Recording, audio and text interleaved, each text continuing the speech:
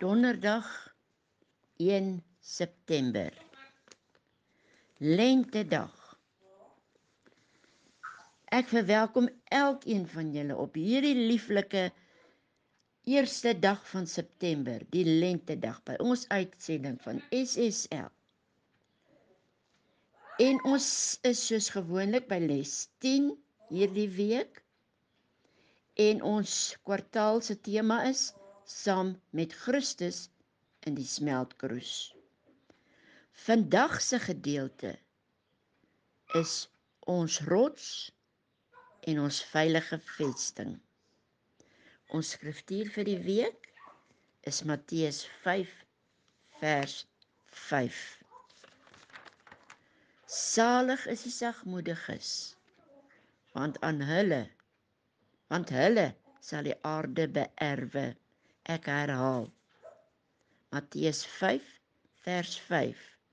Salig is die sagmoediges want hulle sal die aarde beerwe. Kom ons bid saam. Ons hemelse Vader, ons sê vir baie dankie vir hierdie eerste dag van die lente. Ek dank U dat ons U woord kan oopmaak en dat ons hierdie lesie met mekaar kan deel. Ons vra dat U dit sal seën, dat U Gees ons harte sal vul en dankie vir die rots en ons veilige vesting. Ons dankie in Jesus se naam. Amen. Ek wil net herinner, druk asseblief die duimpie knoppie en gesels met ons in die kommentaar gedeelte hieronder. Deel ook asseblief dit met u vriende en as u dit nog nie gedoen het nie, druk asseblief die subscribe knoppie en ook die klokkie sodat u in kennis gestel kan word wanneer ons die volgende program oplaai. Ons rots en veilige vesting.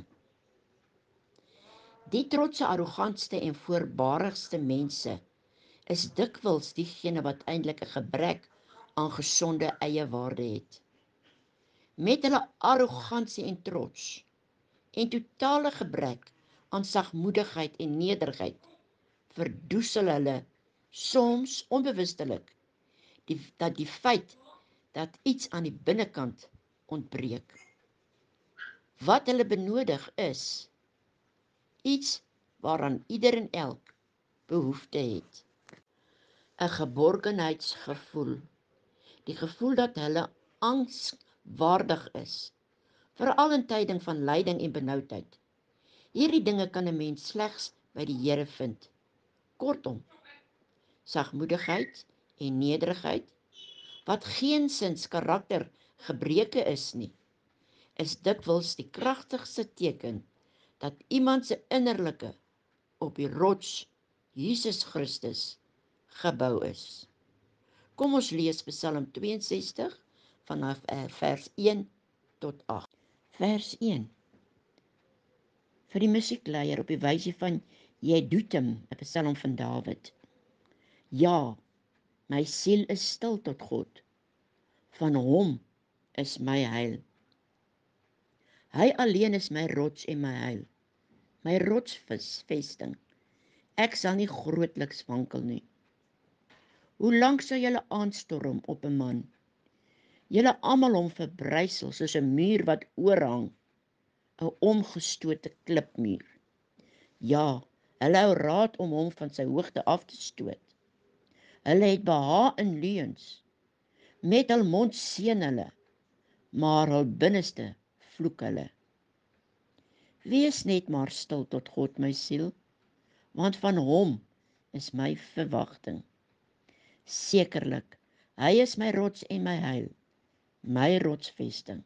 Ek sal nie wankel nie. By God is my heil en my eer, die rots van my sterkte. My toevlug is in God. Wat is klaar blyklik die agtergrond waarteen hierdie Psalm geskrywe is? Wat probeer Dawid hier tuisbring? Watter geestelike beginsels kan jy leer uit wat hy hier sê? Hoe kan jy bovenal leer om hierdie beginsels op jou eie lewe toe te pas? Sonder rede sal mense ons vyande word. die bedoelings van God se kinders sal verkeerd geïnterpreteer word. En nie net in die wêreld daar buite nie, maar ook deur medegelowiges. Elkeen wat die Here dien, sal uit uitdagende situasies geplaas word. Berge van onheil sal in oënskynlike nietige molshope omskep word deur mense wat graag hul selfsugtige en goddelose wee wil goed praat. Deur wanvoorstellings sal God se kinders as werkers van onheil voorgestel word as persone wat oneerlik is omdat omstandighede buite hul beheer hul taak bemoeilik het. Die sulke sal ons onbetroubare mense sal as onbetroubare mense uitgekruid word. Hierdie vingerwysing sal boonop van lidmate kom. God se diensknegte en diensmaagde moet dus hulself met die ingesteldheid van Christus wapen. Hulle moenie verwag om belediging en ander se verkeerde oordeel vry te spring nie. God se kinders sal as dwepers en fanatici gebrandmerk word. Tog is hierdie dinge nie rede tot wanhoop nie. Die Here beskik.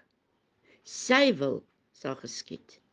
Hy rig sy werk sodat dit tot eer van sy naam verloop. Ellen G White, The Upward Look, bladsy 177. Hoe bestand is jy teen ander se beskuldigings en kwetsende woorde? Waarskynlik nie juis vreeslik bestand nie, nê? 'n Mens moet vashou aan die Here en jou eie waarde anker in die een wat jou so liefgehad het dat hy vir jou sondes kom sterwe het. So maak dit 'n mens dan bestand teen die aanstoot wat ander se seermaak woorde potensieel kan gee. Die vraag is net: Hoe bewerkstellig 'n mens dit in jou lewe? Kom ons bid saam. Ons liefdevol getroue Hemelse Vader, baie dankie dat u daar is vir ons. Wanneer ons so lig geraak is en so gou seer gemaak word. Dankie vir Jesus se voorbeeld. Mag u ons leer, mag u ons onderrig om nooit te vergeet dat u in beheer is. En dankie dat ons kan weet u is daar en u sal ons help. Ons loof en prys U in Jesus se naam. Amen.